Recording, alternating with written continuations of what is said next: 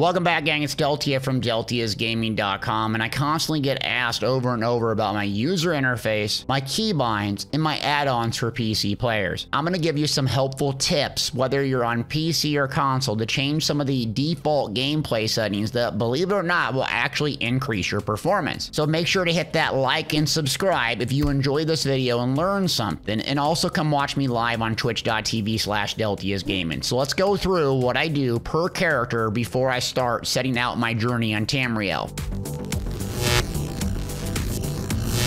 We are on PC. This is what the user interface is after I hit escape. Now I'm going to go to settings and usually I go top to bottom, left to right. First thing up is video. This might not apply to everybody, but the biggest tip performance wise I can give you is number one, turn shadow quality low or off, along with bloom, distortion, sunlight rays, and additional allies effects. These three sliders right here, maximum particle systems, particle suppression distance, and view duration. Dragging those back will dramatically increase performance. So dial those back if you have performance issues, especially in Cyrodiil. Now we're gonna move on to audio real quick. The one thing that does help is play audio in the background. This is really nice if you're alt tabbed and you're queued for something, you'll hear a cue pop, otherwise you wouldn't. Under the gameplay settings, the biggest thing that I can give you a tip on is the combat clues. Turn those on and then custom colors. This is default, this is not an add-on. So the default color is really dark and you can't see it, whether it's friendly or enemy. I have mine to 255 on the RGB and the green scale.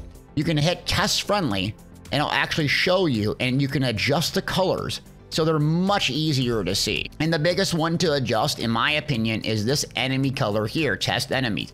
That big bright purple is much easier to see than it is with the default dark red, especially if you're colorblind. You might be able to adjust this and really get some big performance. Double tap to dodge. 99% of times when I duel someone who's struggling in PvP, they have this turned on. The reason you don't want to have this turned on is you're going to do herky-jerky movements, right? Like this. And you're going to dodge roll and blow through your stamina. You can see there's a sack multiplier every time I dodge that works up. So dodge roll, dodge roll fatigue becomes more and more expensive. So if you dodge roll consecutively in a short window, you will die nine times out of 10 in PvP. Turn this off. In general, you want to rebind this sucker so you have control of when you dodge, which I'll show you a little bit later. Prevent attacking innocents, I turn this on since I'm a meathead and go around swinging my sword in uh, NPC areas. Quick cast ground ability. So what this means is, if I have a skill, for instance, like Blazing Spear, I have to click it once, and then the circle comes up, and then I can click it again. So wherever my crosshair is gonna go is where that is gonna be, right? But it requires two clicks in high action PvE and PvP, you want little clicks, not more. So I turn this on. What that does is it throws it wherever I'm pointing. You have to be a little bit more cognizant of where you're pointing but you don't have to click twice, it clicks once. Believe it or not, that will increase your performance. If we keep scrolling down, nothing really uh, performance-wise, I do turn tutorials off, especially if I'm playing a gazillion characters. I don't like that popping up. Moving on to camera, something that will actually really help you is field of view. You don't want this, right? Great for a thumbnail. Great, look at that Mandalorian Deltia here. Not good for performance. Why? Because when I scroll out, I can't see as much, right? So let's see this image right here with it all scrolled in. Now, if I go to camera, watch how much more view I get. Look, you can see way more out there. Grabbing this field of view, sliding all the way back will give you more information about your environment. Not to mention if you have a widescreen monitor.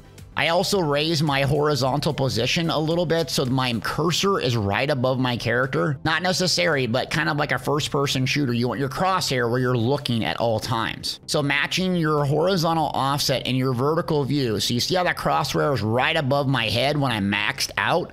This helps me know where I'm pointing my spear or other ground effect AoE, so it's just like a shooter for me. That's camera, and one last tip is turning the screen shake off. This will actually adjust kind of the herky-jerky nature of the screen shake. Turn that thing off. Moving on to interface, there's not much to share here that increases your performance, but in nameplates, there's a lot. Turn these things on. If you're RPing, you can always turn them off. The most important thing to turn on is health bars. You turn on and you do injured on self. Reason why you need to have a lot of information coming in at all times and when you're going to heal yourself, especially in PvP. If you dip below 75% health, you should always start healing yourself and backpedaling and reapplying your buffs. So here in Vvardenfell, now watch what happens. I got my bubble up. Boom, instantly I take damage. When it goes back to full health, my bar isn't shown, right? So when my bubble drops, you're gonna see my health bar being displayed. Now I'm taking damage and I have that little greenish blue line above my head. So you would think that's the only source of information, but you have a couple. You have your attribute bar at the bottom, but you have it over your character. Typically, your eyeballs are centered on your character along with looking at your buffs and resources. So typically when I'm playing, I look at my resources, but I tune up to see all the available characters. So when you go up, you do not want to lose track of your health, especially in PvP. So turning it on injured doesn't get too intensive on your user interface, but you're gonna have more information when you need it. Trust me, turn it on. Time to die. So again, self shown, really important. Also, if you play with companions, it might be helpful to have friendly NPCs shown as well, especially their health if you're trying to heal them and prevent them from dying. Social, not much here. Combat, a lot here. Ability bar, always show. Highly recommend this unless you're a role player. You want to see what's available, what bar you're on, and what your resources and your cooldowns or whatever you got to maintain. So turn it on always. Attribute bars, you guessed it, always show. You want to know more information, not less. Especially with resource numbers, I go numbers in percentage, along with ultimate number on. Why is this relevant? I'm usually doing calculations on my character on the cooldowns, how likely I'm going to get ultimate, how close. So you'll see right here, Prism. Casting a Dawn's Wrath ability while in combat generates 3 ultimate every 6 seconds. Dawn's Wrath ability on my bar here is Living Dark. So believe it or not, I'm usually doing cooldowns. So basically I'm counting down the time while in combat until I can use another ability and proc this ultimate gen if I have the extra magic. So if I'm using a Dawnbreaker right here and I start attacking this guy right here, I'm looking at my ultimate building when I'm doing a light attack and then I can get a 3 ultimate real quick doing that, right? And so I know once it hits a certain number, I can get another 3 ultimate, assuming I have Magicka, right there. And also you know how close you are for an oh crap defensible if you need to survive. So when I'm PvPing or PvEing, the two things I look at at all times are my ultimate and my potions, my user interface especially PvP. I never want to die with a potion available, especially a tripot, or an ultimate available. I want to use those two as a last resort for surviving. So when I get up from a death, I look, is my potion on a 45 second cooldown? If the answer is no, I failed. Is my ultimate used? If the answer is no, I failed. those two things are on cooldown, I use them and they're not available to me and I get zerged down and die. That's okay. But that's why it's so important to have these things up so you can get all this information at one time. Moving on down here, combat text I turn on. I don't have an add-on for that. One helpful thing here, if you're using pets, you can do pet healing and pet overhealing, especially on a magic sorc.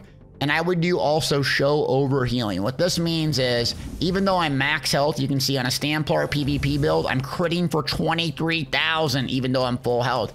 Why that's relative, you want to know how powerful your heals are. So if you're close to max health and you're hitting yourself constantly for heals, you're never going to know just how powerful your heals are. So it allows you to adjust and uh, adjust your build specifically for more weapon damage, spell damage, or whatever. Buffs and debuffs. So I have an add-on for this. Again, on consoles, you're going to want to turn this on. I don't recommend long effects or permanent buffs. That gets in the way of knowing what's up and why. Why are buffs relative and what should you know about them? But you see right there, I cast Race Against Time. So your eyeballs have to start remembering and analyzing these add-ons. You see that Fist add-on? I recast that. What is that? If I go to my character's uh, screen, I have a gazillion on because I have Oaken Soul, but it's Minor Force. So I'm looking and training my eyeballs to realize, oh, my minor force is down, which is going to allow me to crit damage a lot harder. So I want to maintain that race against time on my front bar. This is only going to come with skill and practice of recognizing those buffs. Major Courage, Major Berserk, all these really important ones, but you're never going to know, recognize the add-ons and icons, whether you're in PvE or PvP, unless you turn those on. Turn them on. Start looking at them. Start remembering, because when big ones are up, that's when you want to go an offensive nuke or a defensive back pedal if you're in trouble. Accessibility mode, this was added recently on PC, and what that does is it's going to turn your user interface kind of like a console player's. So if you're not into that, make sure to turn it off here. You're going to get prompted at the start of the screen. Now we hit the gameplay or user interface. I want to touch on keybinds real quick before I get to add-ons. Very, very important, so much so that I'm going to show you an extra camera. Hi, it's me, Delty, and yes, I'm wearing a tank top. It's very hot. But what I want to show you is my keybinds. So here's how I have my hand position. I use a Razer Naga MMO mouse with 12 buttons on the side. This is very useful because I can use my WASD to move, and I can use my 1 through 5 and my 6 key, which is my potion, and still be able to strafe, move, and survive. So let me go through these keybinds and just kind of show you what it looks like with my actual mouse up. The big important ones here are roll dodge, I use V. Reason being is, I can use my mouse to move with these little fingers here, or fat fingers. W-A-S-D, right? But I want my index finger here to be able to hit the important things. Dodge, break free, synergy, ultimate. So these fingers are always on these four keys, right? But the index finger does all the work outside of my 1 through 5 main spammable abilities. So roll dodge is the V key. That's how I have it set up. I have crouching at the T key. Again, so my index finger can reach it. Have the interrupt, which is the break free. Highly recommend binding to the C key. Doesn't have to be what I'm using, but it needs to make sense for you. You need to be able to move on PC and also hit your break free, otherwise you're going to die very easily. Synergy, I have it in a key like the F key to spam a lot.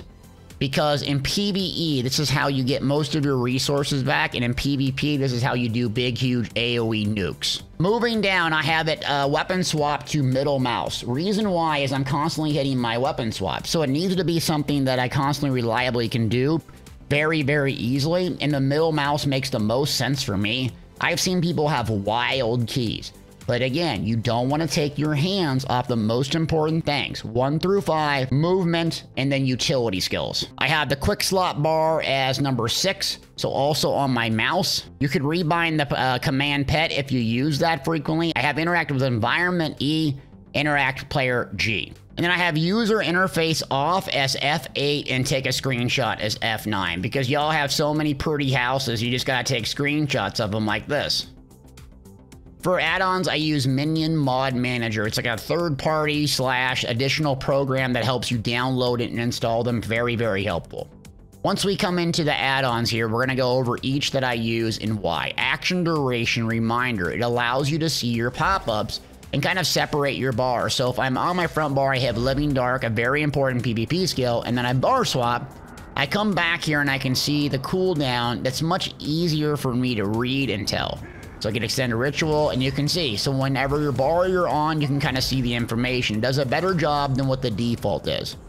Now, if you go to settings and go to add-ons, you can do a little bit more customization to this one. Specifically, the thing I like doing with this one is turning the pop-up alerts off or it just gets too intrusive on my specific character and I turn account-wide configuration on so I don't have to fuss with it every single character. So that's number one. Advanced filters here helps me sort through my junk by doing this. Clicking armor, then go light, medium, heavy, shield. It just does a little bit quicker in sorting through a lot of different stuff, especially when you get in these advanced categories. Auto invite, this is very helpful if you're doing a big, huge group for trials or zerging. You come here and you can set up a keyword. So I type in nugget. Anyone that types it in my guild or in Cyrodiil automatically joins the group and you can reform or do re-invites and auto kick players. If you're a trials leader or you're a Zergling like me, very, very helpful. Bandit's user interface. Talked about this. This is the holy grail of user interfaces, in my opinion. It has its own setting under uh, settings here. Bandit's user interface and does a crap ton of things for you. I'm not going to go through all the settings, otherwise be a 60 minute video. But this important one here is move frames. So you can adjust your frames, your target, your ability timers and buffs, and also your mini map extremely helpful so I don't have a separate mini map. The reticle is what people always ask me about, and that's what is through Bandit's user interface. So it kind of doesn't look like a crosshair, but looks like a circle. You can customize it and follow the leader and do a lot of bigger and better things, and you get through here. You can also turn damage statistics on, but I don't do that. I use a separate add-on that's a little bit more detailed. So Bandit's user interface, Battleground Coffers is kind of a niche one here, and what it allows me to do is at a peak, see which characters have tier 1 alliance rank. In case you don't know, end of campaign rewards uh, of 30 day campaigns give you 50 transmutes. Content creators like me, I try to get 50 transmutes on each of my characters every 30 days, and you can see I'm at 500 at the end of the campaign in 5 hours. Helps me manage that really easy, but very niche one. Beam Me Up is very helpful, so if I hit the map key, it will allow me to travel to friends throughout all of my guilds. This is extremely helpful for new players that don't have all the way shrines that need to bebop around. What I'd highly recommend doing, if I were you, is coming to the home and then going to Guild Finder. Especially as a new player, browse guild. Try to find an active trading or PvE guild that has a ton of active members. Then you can bounce from zone to zone to zone, especially if you have a brand new character or in complete public dungeons like this, you get a sky shard and a skill point for killing one of the bosses in there the best way to get skill points, and it's not even a skill point video. Moving along, BRP Helper, just very simple pop-up specifically for Veteran Black Rose Prison. Bug Eater, very nice because it pops up random bugs all the time. That just kind of eats them. Codes Combat Alerts is pretty much a necessity for hardcore trials. If you don't know all the mechanics, it basically holds your hand and tells you, hey idiot, get out of this, or hey stupid, block or dodge now. Very, very helpful. Combat Metrics is its own add-on I can show you, but what's really helpful about Combat Metrics is it's so detailed in what you do damage and why. So let me just go beat on this thing for a second and show you what happens.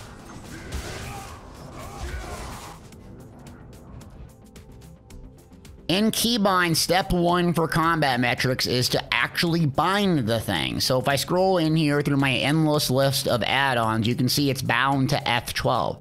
After beating on said thing, you can hit F12 and it gives you a crap ton of information. Mundus Stone, food, and then all the buffs. You can sort by damage caused, healing done, damage received, and so on. So it's very useful to see where you're parsing at, where your light attack weaves are at, where your damage sources are really at. Especially helpful here is this info tab with this eye. This breaks down your build and your um, champion points and everything in a snapshot. So if you're looking for a really quick build breakdown, this would be it. Craft Store, another very helpful add-on that kind of shows and manages your traits when you're specifically learning. So you can see right here, well-fitted can research. It does a bunch more things for you. So if you're into crafting, try to manage your motifs and your resource, get Craft Store. If you look at the top right of my screen, I'm inside of Cyrodiil. Fort Glademist is under attack with one blue siege and it has the score. This is the add-on called CyrHUD. CYR HUD. So if you're a sweat and like to do Cyrodiil all day, this will give you a ton of information to help go on the offensive or defensive with a quick snapshot of information. All right, one of the most helpful add-ons in the game is right here, Lazy Writ Creator. I grab this crafting right here. It gives me clothing, okay? Come over here, and then it starts automatically crafting the stuff if I have it for me telling me what item to do and so on. Before, you either had to mass craft stuff, put it in your game and pull it out, or kind of like actually pay attention halfway to what you're doing. So that's a lot better as you can just basically drag, drop, bang, click, hold your hand for you. It's perfect. And it even opens up the crap for you. I might as well turn this quest in. Next add-on up that's very helpful is GCD bar. I have it enabled and you'll see a bar after I use an ability. In case you don't know, there is a one second timer on your non-channeled casted ability. So I see this, there's one second animation and kind of slides down. That's helpful for light attack weaving. So you see this, bang one, two, three, so on. So if you're trying to do light attack weaving and really get your weave tight, this is a good visual indicator that helps with that. Another really helpful add-on is Dynamic CP. What this does is it shows all the text for the CP so you don't have to guess where to go and what to do. You can actually have a gazillion presets. You can do Magpar, PvE, PvP, bang, hit apply, and it'll actually go through and slot all those things, including your passives, and save it for you. And that add-on is Dynamic CP. Dressing room here, um, there's a couple of different common ones, but when I go to skills, it pops it up. So what this does is kind of like a mini armory. It swaps out all of your skills and your gears with one click of a button right here. You have to set it up. So you need to equip all of your build and then hit shift click to save it. Same thing with your skill line. So let's say I want to go over here, right? I have a gazillion preload out. So let's go here. Let's go PvP bar one. And then I'm going to hit save and I'm going to hit save by holding shift and clicking that. Go to the back bar and hit save and it repeats everything. And if I want to equip this build, I click here. That's different than the armory system, okay? The armory system, right here, saves basically the same things, but what's nice about this is saves Mundus Stone, it says if you're a werewolf, your outfit, and your champion point specifically. Dressing room, consider that something to use in a trial or in a dungeon when you want to swap abilities but not necessarily morphs, attributes, and Mundus Stone. Really good to have add-on. Moving down the list, I'm just going to show and talk about a little bit of these. Harven's Improved Skill Window. This is mainly a niche add-on that shows you the morph choices. Um, really good for content creators. Hodor's Reflex is really kind of a sweaty PvE DPS to kind of see where you rank if you're doing trials. This is very useful if you're competitive and doing PvE competitively and you want to talk trash to people if you got really good high DPS. Inventory Insight, one of my favorite add-ons. So what you have to do is keybind this like some of the other ones, right? So we're going to set up a keybind. I do F11. When I hit F11, it's going to sort through every single character that has this active right? So if I want to see, search my entire inventory for Magma Incarnate, you can see I use a lot of them. It's going to see where this is and who has it. So you can see Tom Shanks has a medium divines with magic. And then I just go down the list and it tells me who has it and how many on which character. So if you have a gazillion gear sets and banking storage and everything, it will show you and display inventory insight. It's a must. And then moving down, Lights of Meridia is a good add-on for group play. If you have a group member, it'll put a beam above their head especially useful for PvE and PvP because you can see where the leader is going and follow along. It also sorts by roles and colors. So damage, healing, and tanking will have specific different colors. Let me show you. So here's my friend Jace, and you can see that he has this big blue beam above his head.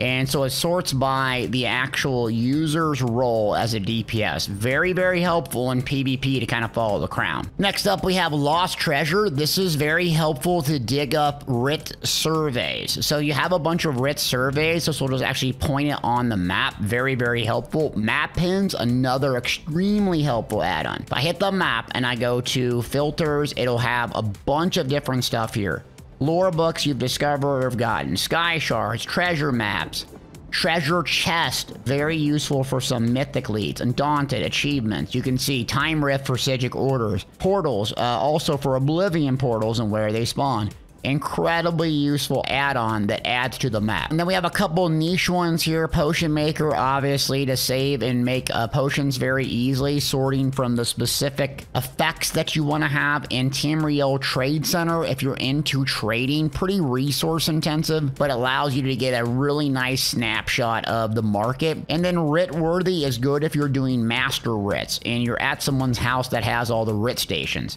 XL Gear Banker is the last one that I use. And why this is useful, I'll summon my little guy here and I go here. So I go to bank and you'll see this pop up here.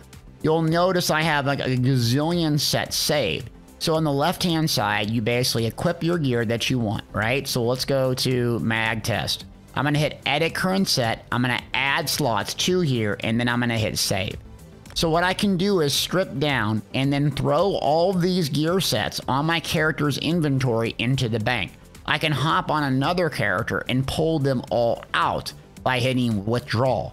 Very, very helpful if you log in from character to character. Like let's say you have Bahsei's and Kinra's on a PvE DPS but you don't want to play on that DPS. You want to swap and not have to have gear on every single character. XL Gear Banker. User interface takes a while to get sorted. Very helpful add-on. Well, gang, that was a lot of information. I hope you got something out of this, whether it's user interface, keybinds, or a gazillion add-ons. There's way more and a lot more in-depth detail that I could have gone, but this will just give you a snapshot because people constantly ask me about this. So hopefully this helped you and you can do a little bit better, especially in PvP with those user interface and keybinds, it will make a big difference. Trust me. Just like anything, it won't be natural at first. Stick with it and give it some time. Double tap to dodge, rebind, all that stuff, crank out the camera, and you'll do a little bit better. Trust me. Thanks for watching. Smash that like if this helped you. Hit that subscribe. Come over to twitch.tv and watch me and check out my builds at deltiasgaming.com. Thanks for watching.